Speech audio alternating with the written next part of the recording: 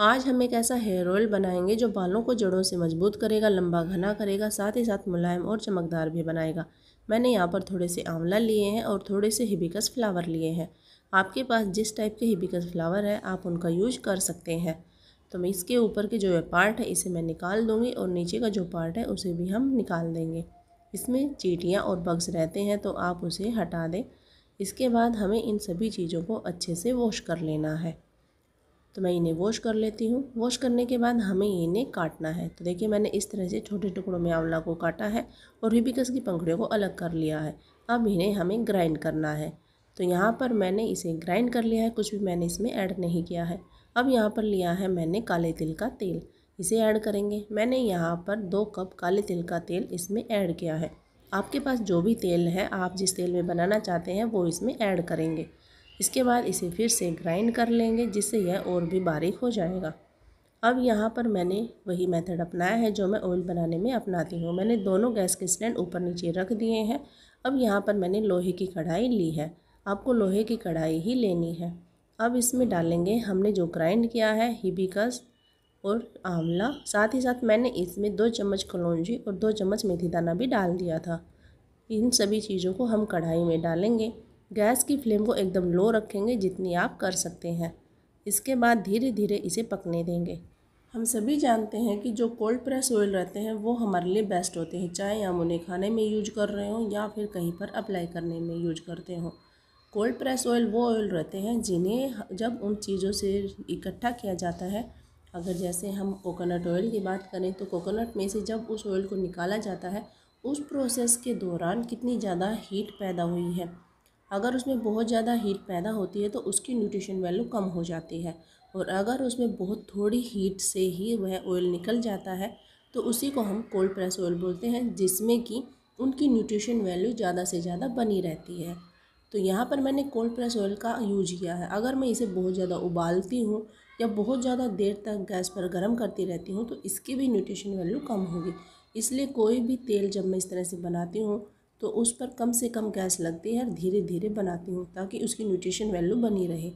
तो यहाँ पर देखिए, जब आप इसे गर्म करते रहेंगे तो इसका कलर चेंज हो जाएगा क्योंकि इसके अंदर आंवला है और यह हमने लोहे की कढ़ाई में बनाया है। तो उसका कलर चेंज होने के बाद मैंने उसे गैस से निकाल लिया और इस तरह से कढ़ाई में ही थोड़ी देर के लिए छोड़ दिया है। यह बिल्कुल ठंडा हो गया है। यहाँ पर जो ऑयल और जो हमने पेस्ट लिया था, वो आपको दोनों इसमें मिक्स दिख रहे होंगे। बिल्कुल ऐसे नहीं दिख रहा होगा कि दोनों चीज़ें अलग हो गई हैं। अगर हम इसे बहुत ज़्यादा देर तक गर्म करते रहते तो दोनों चीज़ें अलग हो जाती। लेकिन मुझे लगता है कि इससे जो ऑयल है, उसकी न्यूट्रिशन वैल्यू भी कम हो जाती। इसलिए मैंने इसे बहुत ज़्यादा गर्म नहीं किया है। तो यहाँ पर अब मैं इसे ग्लास की बोतल में डाल दूँगी। बोतल में डालने के बाद मैंने इसके ऊपर एक पेपर लगाया है। इसके बाद इसकी कैप को टाइट से बंद कर दिया है। अब इस ऑयल को मैं कम से कम सप्ताह से दस दिन तक धूप में रखूँगी। आपको कम से कम एक सप्ताह तक इसे धूप में ज़रूर रखना है। दिन में आप धूप में रखेंगे, रात को आपको इसे अंदर रख लेना है। इसके बाद आप देखेंगे कि जो पेस्ट हमने इसमें डाला था वो नीचे बैठ जाएगा और जो ऑयल है वो ऊपर आ जाएगा। देखिए, आप देख पा रहे होंगे, इसमें नीचे जो बैठ गया है, पूरा जो पेस्ट था, आंवला और हिबिकस का, और ऊपर इसमें ऑयल आ गया है।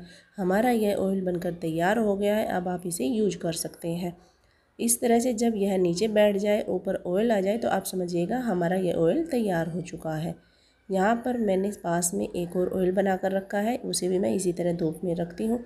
मैं बहुत सारे ऑयल बनाती रहती हूँ, उन्हें ट्राई करती रहती हूँ क्योंकि मुझे उन्हें आप लोगों के साथ शेयर करना होता है।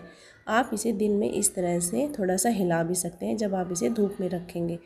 तो ये सभी चीज़ें आपस में मिक्स हो जाएँगी और धीरे धीरे यह फिर से नीचे बैठने लग जाएगा। तो इस तरह से यह ऑयल बन चुका है, अब आप इसे यूज़ कर सकते हैं। यहाँ पर देखिए, मैं आपको इस ऑयल का कलर भी दिखा देती हूँ कि अब यह किस कलर का हो चुका है। यह पूरा ऊपर आ चुका है, आपको कोई परेशानी नहीं होगी कि इसमें पेस्ट है तो जब हम बालों में लगाएँगे तो हमें इसे छानना होगा या इस तरह से बहुत सारा ऑयल इसमें ऊपर आ चुका है।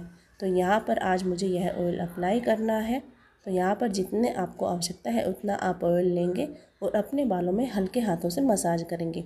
कोई भी ऑयल लगाते हैं तो बेस्ट होता है कि आप उसे रात को लगाएँ और अगले दिन उसे हेयर वॉश करें। जो भी आप शैम्पू करते हैं, उसका यूज़ करें। लेकिन बेस्ट होगा कि शैम्पू हर्बल हो माइल्ड हो और नेचुरल हो तो बेस्ट है। तो यहाँ पर देखिए मैंने ऑयल ले लिया अब मैं इसे बालों में अप्लाई कर लूँगी। आई होप आज की वीडियो आप लोगों के लिए थोड़ी सी हेल्पफुल रही होगी। अगर आज की वीडियो आप लोगों को पसंद आए तो प्लीज़ लाइक करें शेयर कर चैनल को सब्सक्राइब ज़रूर करें। मैं मिलूँगी अगली किसी वीडियो में, तब तक के लिए स्टे हेल्दी स्टे हैप्पी धन्यवाद।